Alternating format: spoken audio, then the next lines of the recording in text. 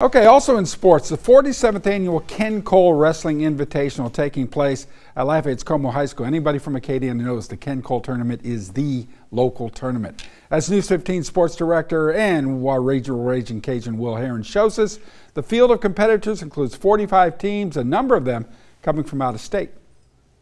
Now, this tournament used to be called the Lafayette Invitational, and then it was changed to the Ken Cole Invitational in honor of Cole, who is credited to bringing wrestling at the level it's at now to Acadiana.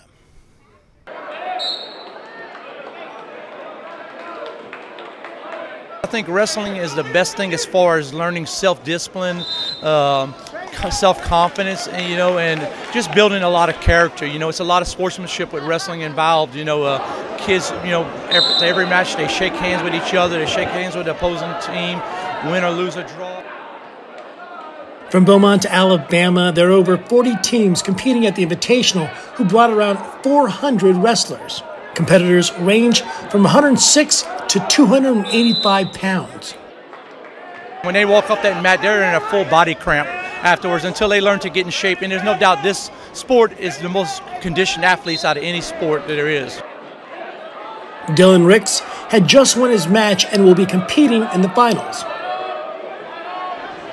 Everyone, I, I think everybody should join wrestling. It's one of the best sports out, and it'll really grow you as a person.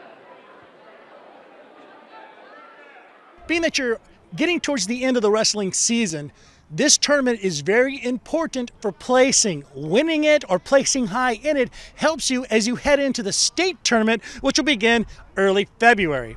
Out here at Comeaux High School at the Ken Cole Invitational.